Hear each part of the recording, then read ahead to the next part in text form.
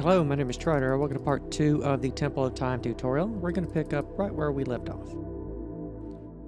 So, last time we did a very long tour of the temple itself. There was a lot to see, a lot to talk about. We did the first phase, a lot of measuring. Hope you've got all that correct and everything down. Uh, but by the way, the dimensions given in, in the uh, opening of the last tutorial is for, I think it's for the box surrounding the uh, temple here with the granite. I'm pretty sure those are those those two dimensions. Uh, but but either way, don't let that throw you. Just go by the measurements that we counted off for the temple itself. And uh, we will go ahead and start on the next one. So I think for the duration, we should probably be starting here at the front, since that's going to be like the uh, like like the tallest section, just to keep everything consistent. Uh, so here we want to add another layer of cobblestone slabs, seven of those, and then seven cobblestone behind that for the next step to uh, get up to the, uh, the entrance. And behind that, we of course just have all these uh, these infill blocks back here. You don't actually have to build these. Uh, it'll save you quite a lot of materials if you don't. You can just leave that hollow. And and uh, beside that, uh, all the dimensions for this phase are going to be identical to the last ones because we are just building up but we are alternating a little pattern here that we're doing with the cobblestone and the tuff. Now these blocks are these blocks are kind of similar, so it may be a little difficult to tell. Uh, but all, all, all, through the building, you should be using like an equal part of cobblestone and tuff together. Like like that's uh, that's roughly how that should work out. But I'll try and go through here. Uh, to get this pattern, uh, the you don't have to follow the exact pattern of the cobblestone and the tuff that I've laid out, you can just alternate them. Like you see here, we just got one one tuff and then like four cobblestone and then one tuff and then two cobblestone and then like five tuff and then like, you know, one cobblestone, two tuff, two tuff there, one cobblestone, one tuff, uh, four, four, what, four or five cobblestone there, and so on and so forth all the way around the building. Uh, just be very random with how you put these blocks down. If, if you want to do something to be um, like like if you want to take perhaps the guesswork out of doing the pattern, if that's a little bit too much, what you can do is you can, for every two blocks of cobblestone you put down, you can just put down two blocks of tuff, and then go back to two blocks of cobblestone, two blocks of tuff, so on and so forth as we go here. Uh, that's not how I did this building. Uh, because I originally made it all in cobblestone and just in MCEdit I used a simple brush to, to do a variable replace, which is randomly replaced uh, uh, cobblestone with tuff. Uh, but but in like a a, uh, a one to one ratio, so they should all still be in balance. And of course, I, I did that because if we can stand back here and take a look from afar, we can see that that our banding pattern, because it's all random and everything, it makes a nice brickwork pattern and gives us a very easy uh, way to do just just a very simple gradient. It's not like it's uh, it's not like an advanced gradient that some people will do where they'll do like, you know, 10 different block types and do like a gradient all the way from the bottom to the top and, and with various patches in between. Uh, this building is already difficult enough, so I didn't want to make make that uh, too much of a burden for you. So we're just doing simple, simple uh, random gradients with the cobblestone and the tuff. Uh, but I am going to, for the sake of completeness, uh, because this is already going to be quite a long tutorial series anyway, maybe four or five parts, depending. Because we do have 175 slices to get through. Uh, I'm just going to go here and show you everything just close up as I can, if you want to replicate it more exactly. But like I said, you can just alternate, like, you know, there's there's a bit there with the two blocks of tuff and then the two blocks of cobblestone as we go if you want to make just a simple pattern and you don't want to do uh, you don't want to dwell too much on the details. A lot of lot of talking, I know, but uh, it's a very complicated building. We're going to have to do quite a lot of explanation as we go. Uh, but uh, don't let that uh, daunt you. Just uh, do it one block at a time, and then everything will work out.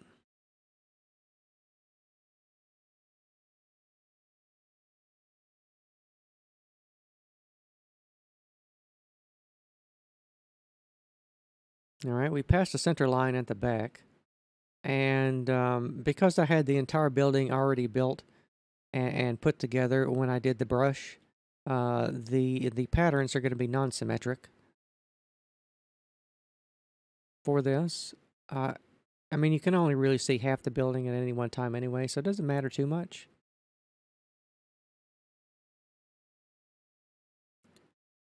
But I will try and show it to you, at least on, on the on the bottom parts. I assume as you're going to build this, you probably don't want to follow the exact pattern I've laid down. You just want to, to randomize your tuff and cobble blocks.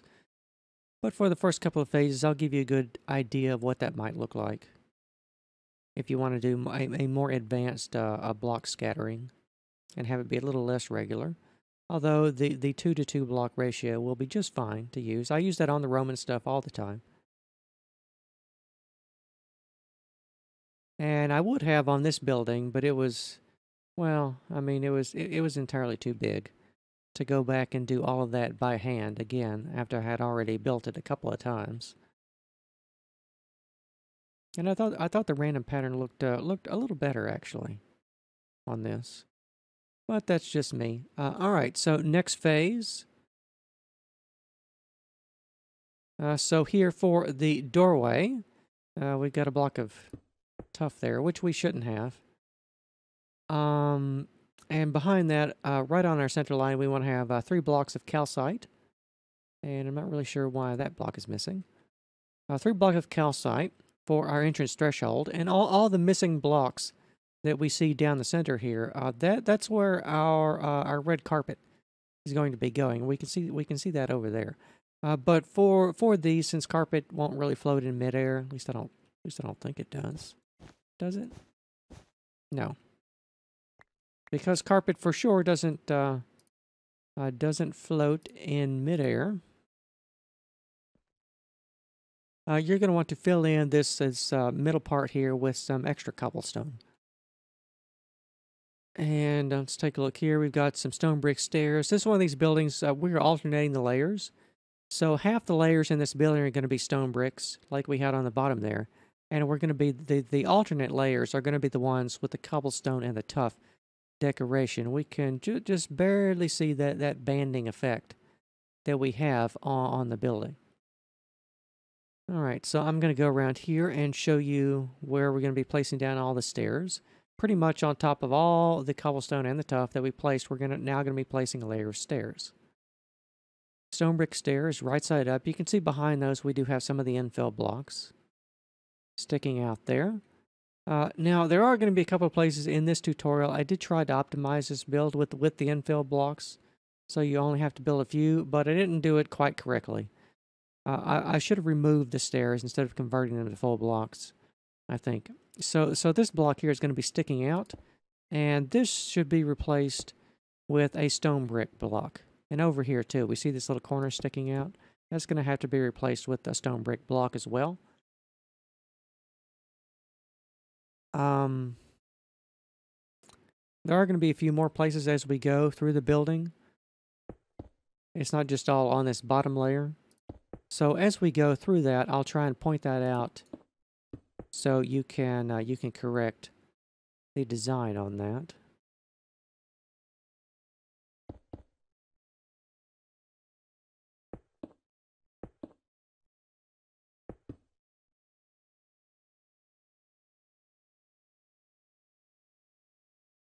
Uh, it's one of those things I didn't notice that that was a problem until I started uh, looking at the phases yesterday in preparation for part one. I guess that was the day before when I did part one. Uh, but but uh, anyway, it was we'd already I'd already sliced up the 175 phases, and this video had already taken long enough to produce. I didn't want to delay it anymore for you, so I thought it would just be better if we continued on and I just explained the uh, the few places where the blocks are sticking out where they shouldn't be for for the infill.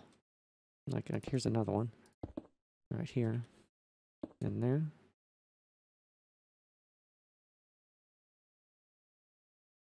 And right here, And right there, and there's a oh, there's a stray uh, stone brick stair back there that doesn't need to be there. There's probably going to be a few places like that. as we go. I do always try and uh, and get the buildings to be block perfect. Uh, but invariably, when when I start slicing them up and recording it up close and personal, there's always these little places right here uh, that that get missed. Like if I just have an like an an eighth of a block sticking out right there, that's pretty easy to miss when they're all gray and everything.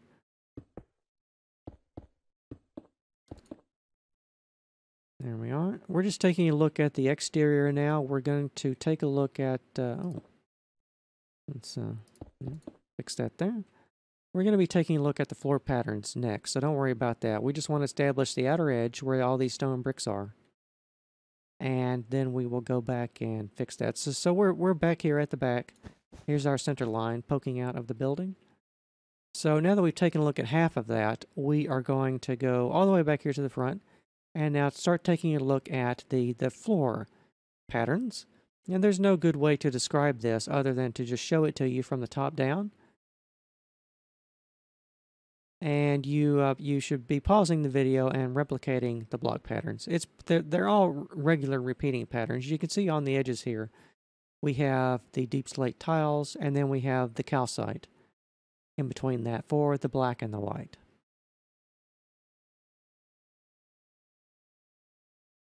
So we're going to go down the nave, the, the, the, central section, first. And I think with, uh, especially with, with the infill blocks and everything, it should be pretty easy for you to count because it's just a simple checkerboard and diagonal pattern here. So it's going to take a while for you to build, but I don't think you should have all, all that much trouble, as it is just a simple floor pattern. All right, so we're going to stop here and go go back down here and uh, take a look at uh, this section here. In fact, let's take a look at uh, the, this uh, uh, out outward uh, tower section here. You remember this is the floor of that small little chapel I showed you. We've got we've got a lot of little small chapels in the Temple of Time overall, just like so. And here is the pattern for the aisles.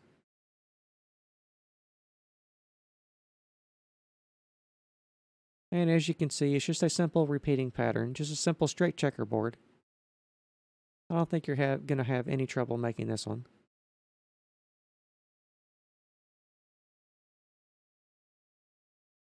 Right there. So let me go up and give you a good top-down view of this entire floor section. It's pretty important to get this right, so we need to slow down and take our time on it. Right there, and now you need to mirror the entire thing on the other side of the center line over here. So let me just get a, a top-down view of this entire section. And then let's get a top-down view of the second chamber. the octagonal section where the Master Sword is.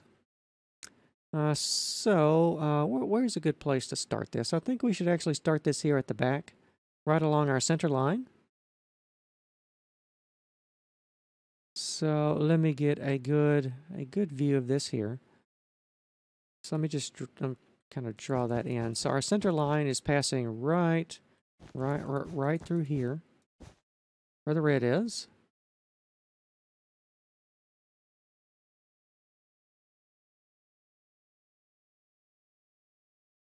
And let me just, uh, let me see.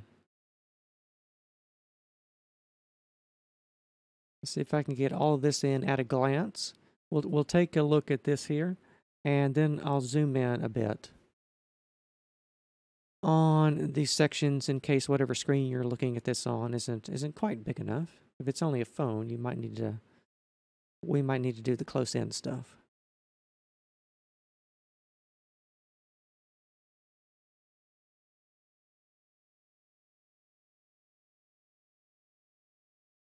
All right, that's to the outer wall.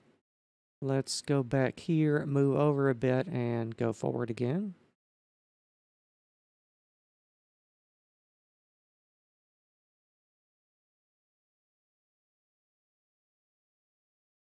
All right, let's move back here and capture now the third section of it.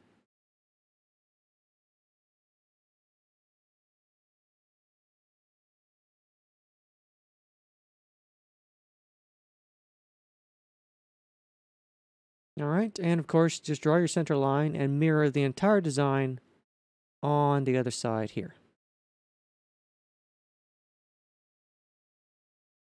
And remember, we've got these little sections over here because this is where that, uh, that, that door goes to our stairwells that are going to be hidden in the middle of the structure.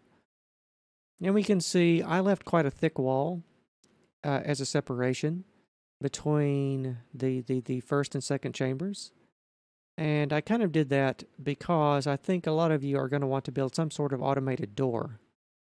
For that, we also had to have space to uh, route the stairwells on either side there. So that's that's what this space is getting used for. But the central space here, I left for you to be able to build a nice big uh, uh, redstone doorway of whatever design you want to do, uh, which is, of course, I can't include because, uh, you know, building channel, not not no, not a redstone channel. I'm to have to go to, to somebody else to, to figure that one out. I cannot help you with it, uh, so sorry. Uh, but anyway, let's start back here at the door on the next phase.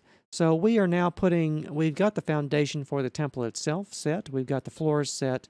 Now we're going to be rolling out the red carpet and uh, doing the basic, uh, the basic design for the, the superstructure of the, of the temple itself. Looks really good from a distance over here. So, uh, well, you know, if, if you have the render range for it anyway. Quite nice. But anyway, uh, we, we are digressing. Uh, so here, uh, this is where our center line is, right here, where the torch is. And uh, we want to place a couple of tree trunks on either side and then a bit of calcite. And we're going to take a look at the exterior, and then we're going to come back and swing around and take a look at the interior. It's going to be our pattern for how we're going to be doing the rest of the tutorial. Exterior first, and then in, in and then interior. All right, so let's take a look at all this around here. Uh, we're doing another cobblestone and tuff phase, as you can see. Alternating the blocks, whatever pattern you want to do.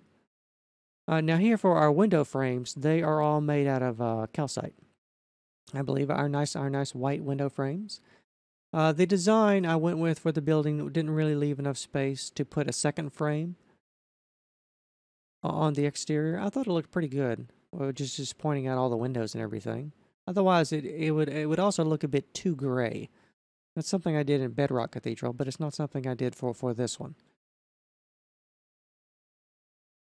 Of course, that that'll be a, that'll be a bridge recost whenever I do the the Bedrock Cathedral. Uh, that uh, that that that might even be later this year. I'll have to see. I want to I want to go back and take a look at that building and fix some things in it probably before I release it again as a full tutorial. It's been released for quite a long time. But that building took uh, it took many months on itself just to design. Indeed, the Temple of Time itself took took about oh I don't know half, half, half that time maybe. It's a smaller and a bit more more simplified in some of its details. So, but I had less experience when I was doing Bedrock Cathedral. But uh, cathedrals in Minecraft are always really hard to do, at least to design. So I've saved you all the work from that. All you have to do is follow the patterns I'm presenting to you here. And you should be able to get a really nice cathedral here for the Temple of Time. I don't think it's any less of a nice building than Bedrock Cathedral. It's just uh, it's just a different design of cathedral.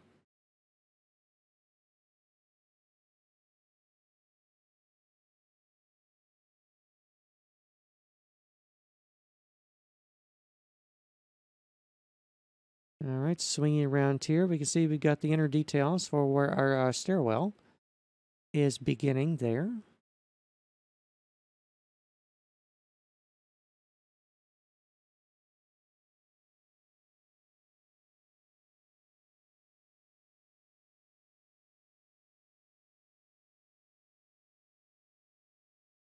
I'm not sure how many geodes you had to find to get all this calcite.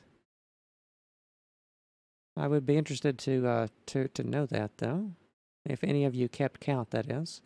Or perhaps you just uh, had your friends go out and gather it for you. And, uh, and just buy it off them for diamonds. That'd probably be, uh, it's probably a good approach. You're going to have enough trouble just building it without uh, also having to do all the gathering. But if you are doing both, uh, I wish you, I wish you well in that endeavor. So let's take a look at the interior now. We're back at the doorway. We've got uh, calcite and uh, chiseled quartz here for those.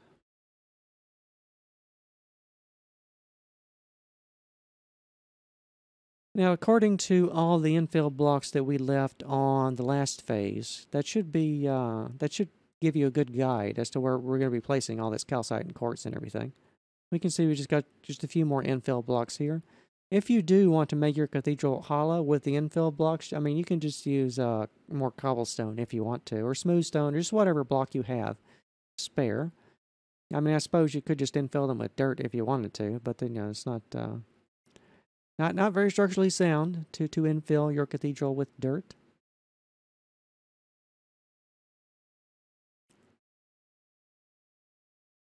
Probably attract a lot of Endermen to your cathedral, though. They'd be trying to reach into the walls and pull out the dirt, I think. That'd be really bad. All right, so here going down the aisles, we just got simple repeating patterns here for the bases of the uh, the structure.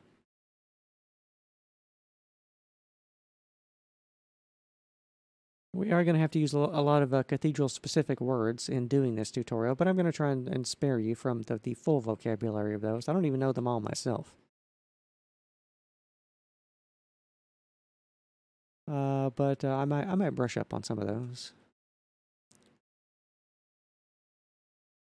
Because it was a lot of fun learning all the Latin words for the Roman Domus, but that was quite a while ago. So here for the central altar, uh, I I thought it was going to be fun to use these uh, these end portal frames to put the spirit stones in. But uh, I, I think if, especially if you're doing this in survival, what I would do is just replace these with some more chiseled quartz blocks, and then just put three item frames on the top of them here, and then you should be able to slot in your stones uh, like like that there. And you can possibly hook those up to your redstone door to make sure it won't open unless you have all the all the three stones or something. In there, that that'd be that'd be pretty cool. You should have enough space under the altar here and the cathedral and everything to uh, get that um, to, to to to get that sorted out. I think. All right, so we're here at the altar. So everything around the edges, you want to go and duplicate that from what I've just shown you. And down the middle here, just straight down the middle, we want to run our red carpet. Just straight down there, all the way back to the entrance there. And another thing I skipped over is you want to go around and put all the foundations for the piers right here. I mean, these should technically be columns. Uh, it's it's actually interesting the way um, uh, the way the Gothic cathedrals were developed. Th- these were the, these would be uh, the same as like a, a column in a Roman basilica. That's what they started with. Uh, but over time, they they made the columns really tall and really thin, just taller and thinner as they went, and they kind of morphed in, into being uh, a, a series of attached columns uh, which uh, are, are really fine details that we can't replicate at this scale in Minecraft, sadly. Um, uh, but yeah, that was how those originally started. They they were originally columns, but then but then but then they morphed into more uh, more more delicate and shapely forms into into the piers and everything that we see today. And there's quite a few surviving old buildings that we can we can go look at. Well, I mean that that people have gone and looked at. We we can't look at them, but uh, people have gone and looked at them, and they've they've made books and everything about uh, that process. Where's going to be the good place to start at the back? Let's start at the back, all the way at the back, right here where, where our center line should be poking out of the building for the second chamber. So we're going to start back here, and then take a look uh, take a look counterclockwise around the room.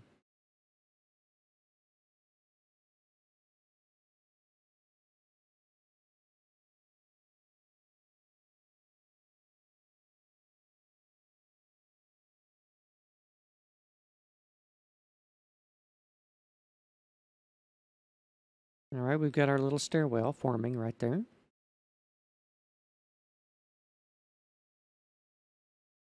And then I know these uh, block patterns look look pretty random at the moment, but but as we go, you're going to see how it's all going to fit together. All right, so here we are uh, at the at the altar platform for the Master Sword. We've got uh, quartz uh, stairs, stairs, quartz slabs, four stairs, and then calcite behind that, and then the deepslate tiles behind that, and then the calcite behind that, and then of course in in, in the center of everything we have uh, um, the Triforce emblem laid out with, with diamonds right here. And this this right here would be a good spot, or perhaps here. Yeah, per per perhaps there. Uh, would be a good spot, like if you have one of those armor stand add-ons where you can make them invisible.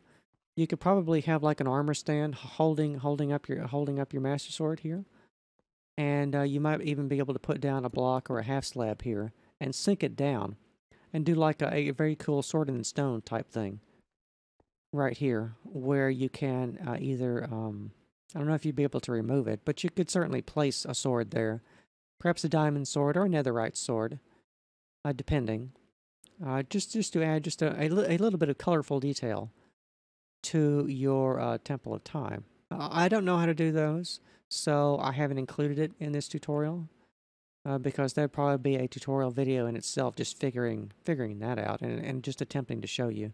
And not everyone's going to be able to do it, so I didn't want to I didn't want to include it. That's why I just threw it in a chest for for part one and everything. Although you could just put it in in an uh, ender chest if you want to, make sure nobody can take your master sword. And let's go on to the next phase. I don't know how long we've been recording. We're only we're only a couple of phases in, so you, this is going to be a long, long series. Uh, so here we can go ahead and place down our door if you want to. This uh, the front section was not big enough uh, to fit in a, full redstone door. Not not exactly. I mean, I don't know if you can fit in uh, foot foot in. I don't know if you can fit in. I mean, I suppose you do have to walk in, so you technically you technically foot in. But um, I, I don't know if this space is wide enough to be able to put in some sort of flying machine redstone door that would like go up and down. I don't really know how those work, so I can't advise you on that. But if you want to play around with something something a little bit more advanced in this particular, just, you know, just having a dark oak door there, you can do that. But I just want to point that out before we go. So let's take a look around the exterior now. We're also doing the windows. We are doing for this alternating uh, full blocks and panes. And we're going to be doing that. I'll just do a little design here as we go. As this extends up, every place you see the, the, the red here, these would be full blocks of glass. And in, in, in between these is where we would, where the torches are, where we'd be placing the panes. So we're going to be alternating full blocks and panes as we go. Also, I've only done this for the light blue stained glass because I thought it would be uh, I thought it'd be easier on on you uh, just to have one color. Uh, but but if you want to make a more uh, kaleidoscope type effect and do other stained glass colors, you can just just mix them in like we're doing with the, the cobblestone and the tuff. You can do that if you want to with the stained glass. You can try and do the same pattern for every window if you want to, or you can mix and match and just make it more of a kaleidoscope. Um, and uh, recommended colors for that. I mean, you can use your own custom colors if you want to, but my uh, but my recommended colors for that would be to add in uh, red, purple, and blue, maybe a bit of cyan. We're using a light blue here, but those are generally the colors of stained glass I, I tend to tend to prefer. If you want to, you can work in a bit of green here and there as well. Maybe just a couple of specks of yellow here and there as well, but but but uh, not uh, not not too much. Uh, but because we have just a simple, you know, like a gray and um, and black and white color scheme for a lot of the interior, except for the red carpet, eh, I think it would all match pretty well. But I will leave those exact details up to you, and we will we will continue on. I think uh, I can probably only talk for a couple more phases, so that'll be however much we get through today.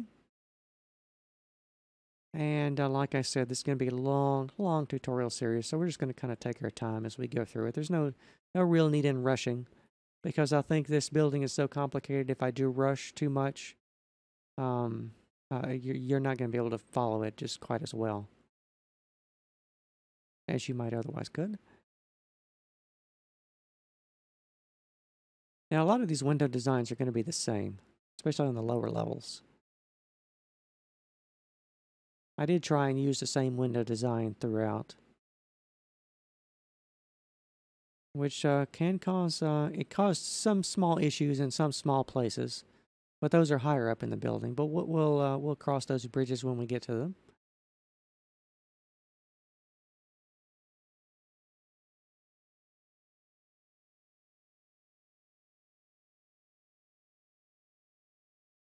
All right, so here we are at our uh, dividing wall. And I couldn't really, uh, part of this large window, I, I, I left the window here, even though we do have our stairwells and everything going through that. So some of it gets blocked off with some quartz behind it. Um, but I didn't want to break up the facade of the building too much, so I just sort of left like a dummy window there for that.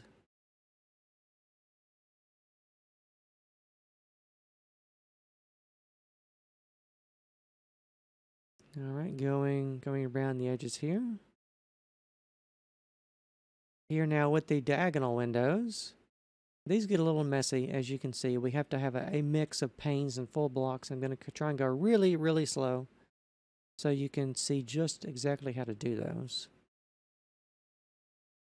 And in some of these, it looks like um, that's an infill block. It shouldn't be visible.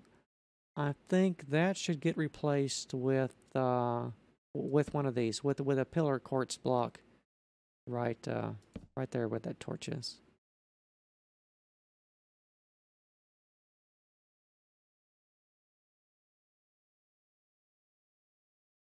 Like it, it, it worked all right here, but I'm not sure uh, why it didn't catch that one there.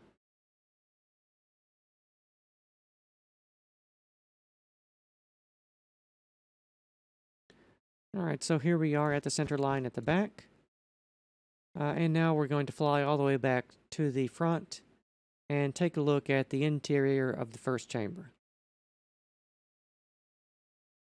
Uh, a lot of smooth quartz and stairs on this one, and a bit of calcite, which I think you've already placed the calcite down for the window frame, I should imagine.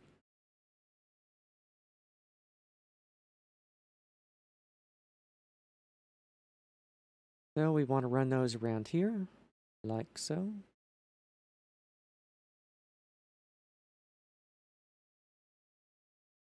Inside our little side chapels here at the moment with uh, the stairs.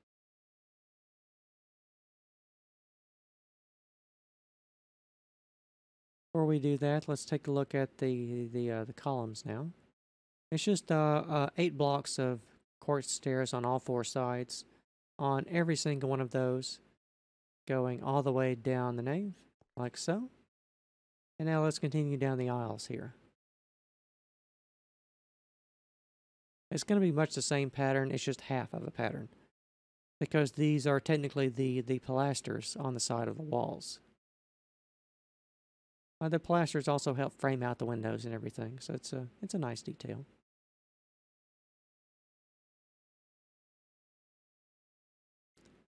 All right, here at the dividing wall.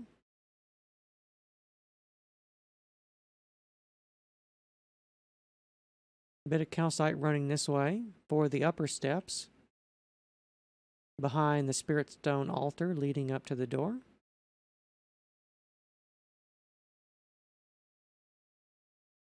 And our center line is running right through here, of course.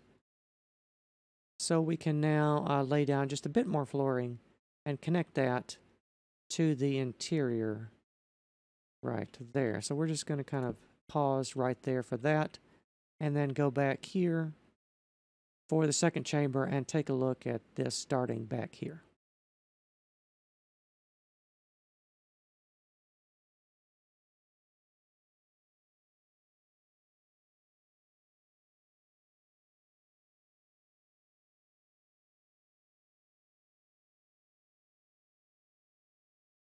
You can place down your dark oak doorway here and build your little stairwell. Continue on here with the dividing wall.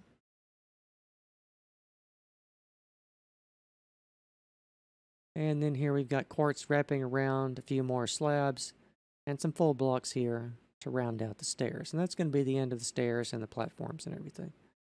All right, so that's our center line here. Should have already placed everything down. So let me get some altitude and let's stand back for a moment and take a take a good look at where we're at at the moment. Let's try and get the entire thing in view. Right there, and then we will, uh, I can, I think I can do another phase for today. Our cathedral is just, it's just barely clipping out of view in the mist over there, so we'll have to say goodbye to that. And we won't see that again until we get a hundred and, what, I don't know, uh, just, just 170 slices off in that direction before we get to the completed model.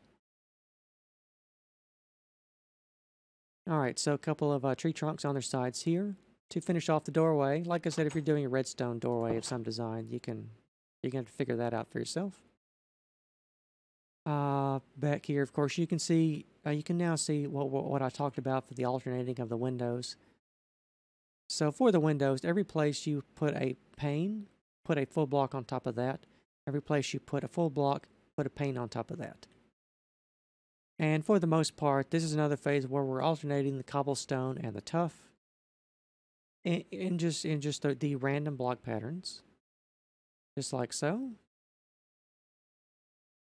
Uh, I think I should take a note. If you are doing what I talked about before with the alternating of the, the, the 2 by 2 if you want to do that particular design, every time for this, when we do a layer of stone bricks in between that, you don't want to do this again. What you want to do is you want to put the cobblestone, I mean, you want to put the tuff on top of the cobblestone and reverse, reverse the order of the blocks just like that if you want to do this particular pattern. Otherwise, just, just randomly put them down. But as you go, try and make sure that like, like in some places you can see here, it's, it's okay to have it if you want to have it be randomized to have the tuff on top of the tuff. But just don't have like, you know, a whole bunch of tuff on top of a whole bunch of tuff. Uh, try and try and make it a bit uh, a bit more random as you go.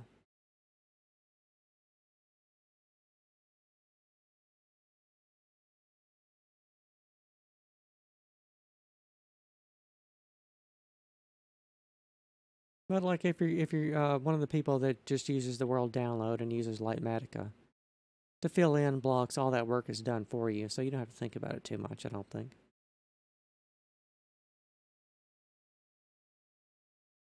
Uh, but I've never really done it like that.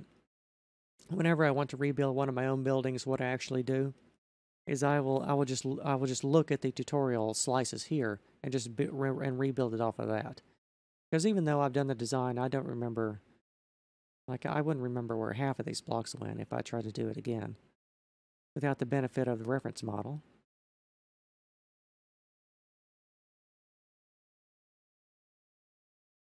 So that's why whenever I want to rebuild, I just come here and look at my slices. It's the same as I do for the tutorial video. Right here. It's just easier for me to look at the slices instead of referring back to the uh, back to the video. Because I, I, I can remember about half of it, but I need to look at the slices to remember the other half. It's just quicker for me. But of course, you know, it's sliced up this way because it's it's far too big of a building to try and do the reversed block time-lapse thing on it. I don't even know how many hours it would take to record that. And then once I slowed down the speed, it would take 60% longer than that, so it'd be, it'd be pretty hard to do. That's why once buildings get over a certain size, I, I resort to slicing them up and talking about it instead. Just because, uh, because of how big it is. And there's a lot of different details in here. Like with uh, with all the, the missing blocks and everything in the in the little corners down uh down there that we talked about earlier. So here we are at the back at our center line. So we we've taken a look at all that. We're now going to go back to the front and take a look at things from the inside.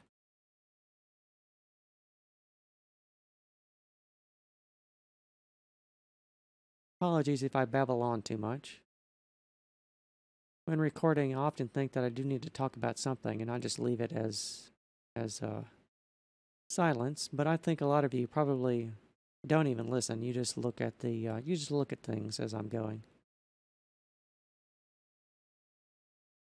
Because I know most people they will just look at the tour and then not and then not watch the rest of the video, so then they never get the benefit of all the extraneous information that I tend to include in these.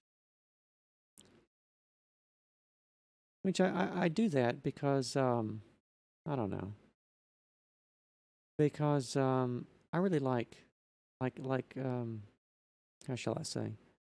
Like like like when I make these buildings, I always trying to learn things about the building uh, because I kind of need to do that in order to make a faithful copy of it. Because if I don't if I don't know reasons for why people did things, it's really hard to render it into blocks. Because in Minecraft, you often have to solve problems all over again uh, that you uh, that you might normally not be aware of. And and and never never mind the torch placement here. If you're doing this in survival, you're probably going to hide a lot more lighting and what I've done so you don't have to worry about the exact places of the torches and everything. But I know some of you like like hearing all the the, the, uh, the digressions and everything that I do.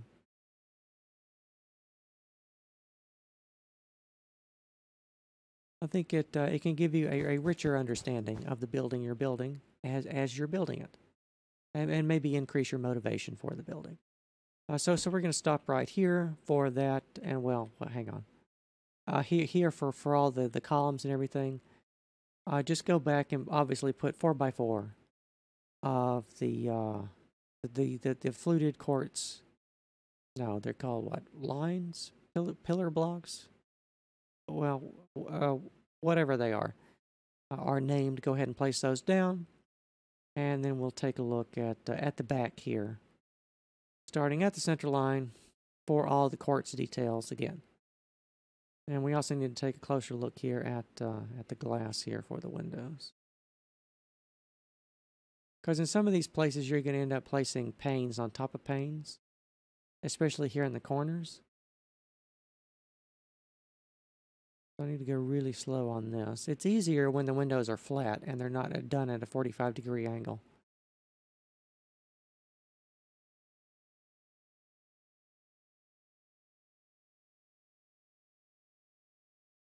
All right, a bit of quartz here and the detail for the stairwell. And here the detail for the dividing wall.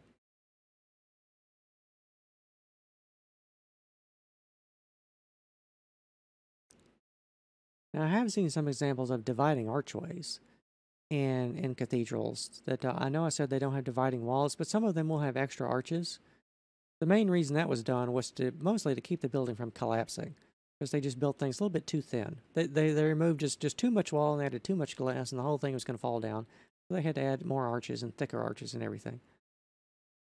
For that, uh, but but for the Temple of Time, it very clearly had a dividing wall between these, so we had to we had to accommodate that design to be more faithful to the the Temple of Time and everything.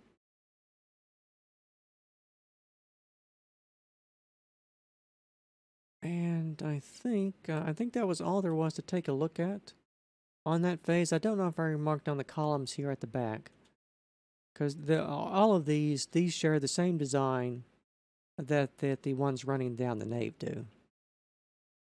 All six of those. I think that that is probably that's probably uh, that's probably a good amount to do for today. So I hope you are enjoying the Temple of Time series, and I want to thank you very much for watching, and I will see you next time.